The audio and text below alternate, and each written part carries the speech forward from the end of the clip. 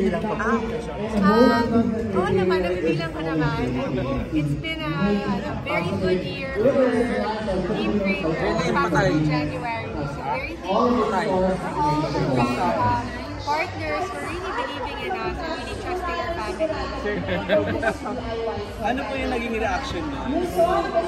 Pinili yeah. kayo to be a part I think for me it was um, addressed by one of our media friends. Diba parang they're a growing brand and like really they, they, they still want to get us as a brand ambassador. So, so we were very flattered and very surprised. So it was a, a pleasant pleasant thing to know that we'll be working with a growing brand in Mr. DIY.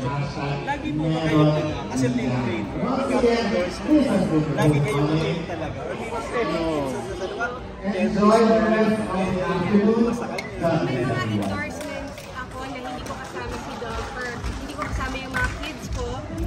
Endorsements naman na um, kasama ko si Kendra, kasama ko si Scarlett, or silang dalawa lang, or si, minsan si Doug lang at saka si Scarlett. So, uh, paiba-iba talaga. Yeah. Just hindi na ba kayo babalik May sa magtatanong daw. Um, Kumbaga, syempre parang naging part kayo. Yes. Si, ala, I actually... Si Cheska, ano, bigyan mo ng mic. shows. Um, five years ago, so I did a, I did a mommy show. Um, so far, yun yung ginawa ko. But then, uh, right now, kasi my kids are so small, parang I, I still wanna be there, I wanna raise them, nag-enjoy ako na, napapanood ko silang lumalaki. Siguro pag malaki-laki na sila ng konti, and I'm homeschooling pa this school, so um, pag malaki-laki sila, siguro I want to go back. So may mga offer and then bilang Yes, kayo nag-agree. yes. Uh, may mga offers to do soap operas before the pandemic, pero hindi talaga kaya ng schedule. And at the same time, hindi ko rin kaya i-accept because nga of my children. What about Is it okay with you to, for her to go back to showbiz? um, asking if uh, I'm okay that you go back to showbiz. I think right. The kids, the kids. The kids? Si You. Kendra. Or me? Si Kendra. Cheska. Oh, sige, sila, sila na lang. Dog and then the kids. Dog and then the Are you kids. okay that mommy? Are you- off, no, may offer silang mag-showbiz, especially si Kendra. Is that your question? Ah, no, actually, no. Okay, let me address the question. Okay, she's asking, she's asking if I'm okay if you go back to showbiz. Okay, so um, my answer is hindi muna. Parang for me, it's uh, I like to see her every day. Hindi ba ako nagsasawa sa face niya. So, and you know, we're really great partners in raising our children and managing our household. So, right now, there's no need to do it. But I'm sure it will be a pleasant surprise for the kids to see their mom acting again. How about the kids? Are Ah, you now the kids. No, not yet. uh, we're very, ever since, like, when Kendra was six, seven years old, she had offers to do shows already, and we wanted her to focus on her childhood and, and just enjoy, you know, doing all of these uh, digital campaigns and TVCs. We have control over our time, so that's what's the most important for us, is keeping our family time together. gusto lang po namin magkaroon ng ano ng idea sa mga kids na they're living as a vlogger sa yung family. Paano po yung buhay nila bilang mga bata? Lalo na po kapag nakikipag-interact na sila with other kids, with other people. Actually, you know, um, yung kids namin kasi, hindi naman sila nakabagad. They're not in show business naman eh. So lahat ng mga ginagawa nila, yung mga TVC, or kaya mga photo shoots, so they have a lot of time. And um, yung mga, actually yung mga kaibigan ni Kendra, they don't know who she is.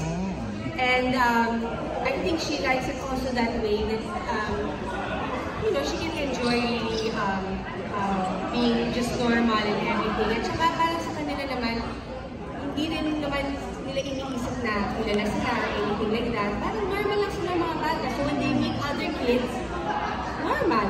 You know, marunong sila makihalo-bilo sa mga ibang bata, naging kaibigan din nila, ganon.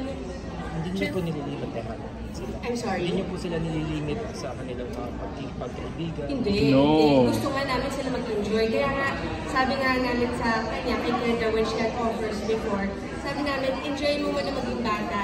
Yan, you go to school, you um, uh, do good in your sports, ganyan.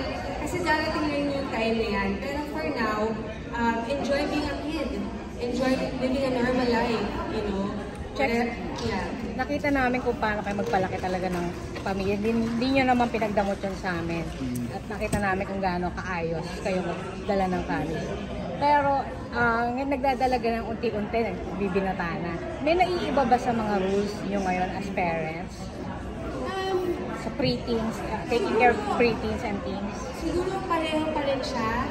Parang sa amin, talagang yung values na in-instill namin sa mga anak namin na um, dalhin talaga nila, whether nung mga bata sila or hindi, yung pag maging honest sa, mga, sa magulang nila, maging respectful sila sa magulang nila, na um, at the same time, you know, um, pagbutihin nila yung, yung pag-aaral nila, yung sports nila. Lagi namin sinasabi sa kanila, alam mo, ang dami ninyong opportunities, um, galingan ninyo, kasi you know, those opportunities, they don't happen all the time, all the time, doesn't come all the time. So, be thankful for whatever comes your way. And, yun, I think the number one thing that children need to remember is to respect their parents, you know, and to obey their parents, because their parents only want what's best for them. And I, I think one of the biggest differences when we were when they were younger, smaller, compared to now is how uh, engaged and intentional we are with their sports and activities. Uh, for example, you know, she, because Kendra goes to regular school, she goes early, at 7 a.m.? But, you know, for the two, Scarlett and Gavin, they train every morning, 6 to 7, 7 o'clock to 8 o'clock in the morning for their sport-specific taekwondo and then basketball. And in the afternoon, they have trainings. And then Kendra is very focused on her swimming. So we also try to get her the best coaches that can help her out. So a lot of lessons can be learned through sports. So that's one of our goals is to instill the values and discipline in sports for them. May I ask yung mga children, meron mang chance that may pwede na kayo mag-artista, are you willing to enter showbiz also? Gusto Like your mom, mag-artista? parang ganun. Kendra. Um, that's a hard question, but I think that maybe like it's interesting for me and it's something that I've thought about.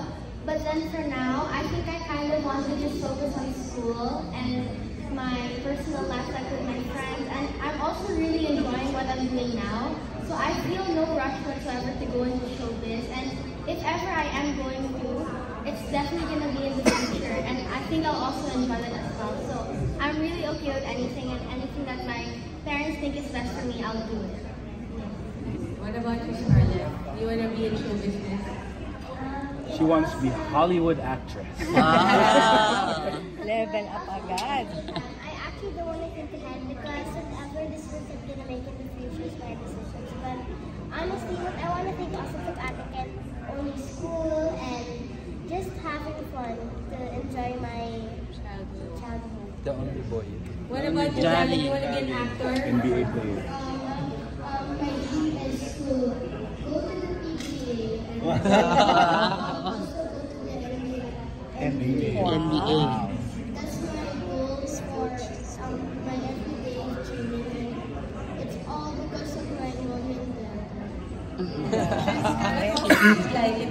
Also, di ba? Jessica. Jessica, some celebrity couples, they don't want to expose their uh, children sa social media, sa TV. Pero kayo, uh, you allow them to be exposed. Hindi ba kayo nag-worry para sa safety nila since lalo na't uh, sikat na sikat kayo ngayon? Um, you know what?